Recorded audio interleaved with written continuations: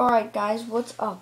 It's Valley Nice here, and today I'm going to be showing you, uh, for my Christmas special, uh, not really special, but, um, because today I finally got, uh, the Lego, uh, Star Wars, not Lego, the Star Wars 41st, uh, Elite Clone Trooper figure, action figure.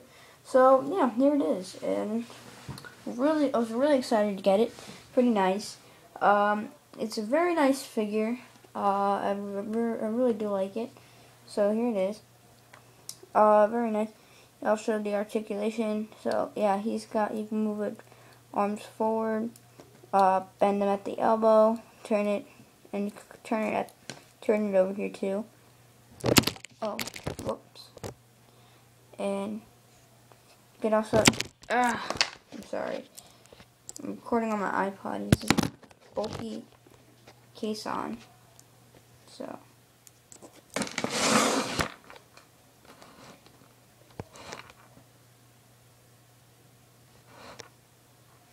So, yeah. And then you could also turn the uh, hand, bring, get bend out the leg, turn it like that, and bend at the knee. For some reason this one doesn't really bend. Uh, I feel like I'm going to break it when I do. Uh, it's kind of stiff. And it also pivots at the foot. You bend it down and forward and turn it. Uh, and at this foot also, it also, and at the foot too, it also feels like it's going to break. And the head, uh, it can kind of turn it, but that's only because it take off the helmet and you get turn it, actually, with the actual head can turn. Very nice. So I actually got the clone trooper head. And it actually did remind me, it looks like one of the heads that came with one of my other figures. Uh, it came with uh, this blue clone trooper uh, from the original Clone Wars uh, series. When they like right when uh, General Grievous was fighting uh, like the five Jedi, and then they and then he, uh, they, they had like the ARC troopers come to rescue them. One of them had like the like that blue mask it looks sort of like an airborne, except it didn't have like the tubes at the sides, like how these had the tubes. The airborne has that. Uh, the airborne trooper. I don't remember what it's called. And then he had like the, he's blue, and then he had like these uh four cannons.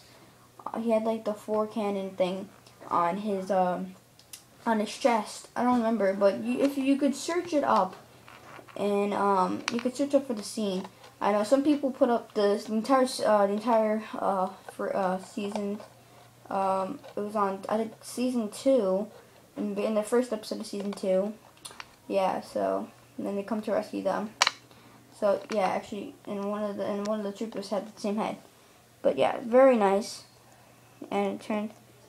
And yeah, these are accessories: the helmet and the DC. I think it's the I believe it's the DC 15 blaster. I don't know. Um, I really don't remember. And he put it back in his hand. Sucks you can't really hold it because the way his fingers are bent. You can't like, like how on some of the clones you actually they can like hold it at like here. They can grip onto it like that. He can't hold it because the way his fingers are bent, so yeah, kind of get in the way and can't really grip onto it. So that what's that's what sucks. Um, and so yeah, but it's a very nice clone. And here it is. I'm going to do a comparison. Oh, actually, I just want to say something. It's weird, though. What's weird about him is that um, he's a 41st Elite. So um, he's supposed to have gray shoulder pads. But for some reason, mine don't. Uh, so I searched it up on my my Surface, my Windows Surface. Uh, I'll show